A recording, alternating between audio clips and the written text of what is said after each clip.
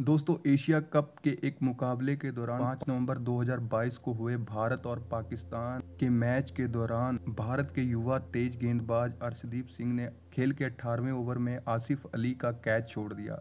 Catch छूटते ही अर्शदीप सिंह लोगों के निशाने पर आ गए। इस कैच का भारतीय टीम को काफ़ी नुकसान हुआ और भारतीय टीम ये मैच हार गई।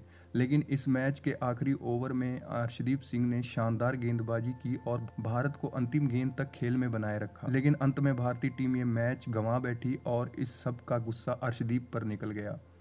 दोस्तों, अगर अर्शदीप सिंह की निजी ज़िंदगी के बारे में नज़र डालें तो अर्शदीप सिंह का जन्म 5 फरवरी 1999 को मध्य प्रदेश के गुना में हुआ था।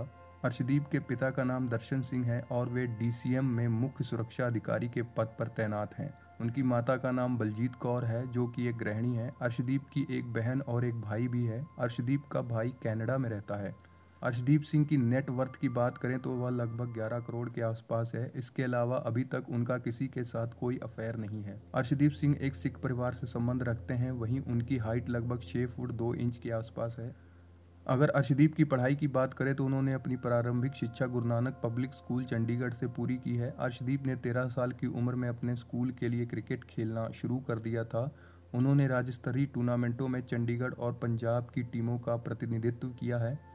अगर अर्शदीप सिंह के क्रिकेट करियर के बारे में आगे जाने तो हमें पता चलता है कि अर्शदीप ने साल 2012 में गुरु नानक पब्लिक स्कूल, चंडीगढ़ में कोच जसवंत राय की देखरेख में क्रिकेट खेलना शुरू किया था। उन्होंने पंजाब के लिए वीनू मांकर ट्रॉफी में तेरह विकेट लिए और दो में डीपी आज़ाद ट्रॉफी के लिए Punjab inter district one day championship में पाँच मैचों में चंडीगढ़ के लिए उन्नीस विकेट लिए।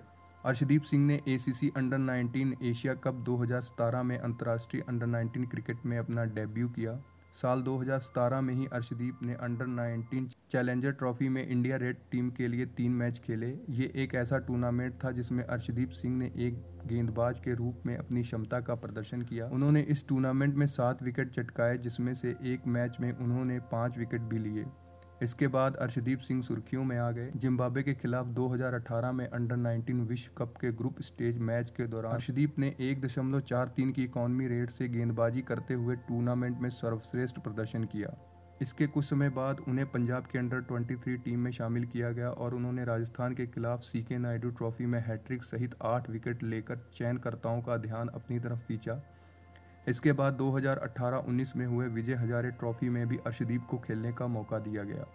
दोस्तों, अर्शदीप सिंह लगातार मेहनत करते गए और एक दिन उनकी मेहनत रंग लाई जब दिसंबर 2018 में अर्शदीप को किंग्स इलेवन पंजाब ने 2019 इंडियन प्रीमियर लीग के लिए अपने साथ जोड़ लिया।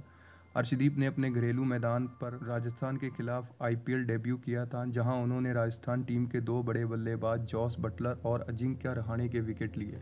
इसके बाद आईपीएल सीज़न 2021 में अर्शदीप ने शानदार प्रदर्शन किया और वे इस सीज़न अपनी टीम के लिए सबसे ज़्यादा विकेट लेने वाले दूसरे गेंदबाज बनकर उभरे। इस शानदार प्रदर्शन की वजह से फरवरी 2019 में इन्हें पंजाब किंग्स द्वारा आईपीएल टूर्नामेंट की नीलामी में चार करोड़ की मोटी रकम में दोबारा अपनी टीम में शामिल कर लिया गया। अगर अर्शदीप के अंतर्राष्ट्रीय क्रिकेट करियर की बात करें तो अर्शदीप ने भारत के लिए अपना पहला टी ट्वेंटी मैच सात जुलाई 2022 को इंग्लैंड के खिलाफ खेला था। इसके बाद उन्हें वेस्ट इंडीज के खिलाफ टी ट्वेंटी सीरीज़ में खेलने का मौका मिला। हाल ही में एशिया कप में भी अर्शदीप सिंह ने शानदार प्रदर्शन किया है। अर्शदीप ने एशिया कप के सुपर फोर स्टेज के मुकाबलों में पाकिस्तान और श्रीलंका के खिलाफ आखिरी ओवरों में बेहतरीन गेंदबाजी का प्रदर्शन किया, जिसके बाद अर्शदीप ने सबका ध्यान अपनी तरफ़ खींच लिया है। अर्शदीप सिंह को डेथ ओवर का स्पेशलिस्ट गेंदबाज माना जाता है, जिसका उन्होंने इन दो मैचों में सबूत भी दे दिया है।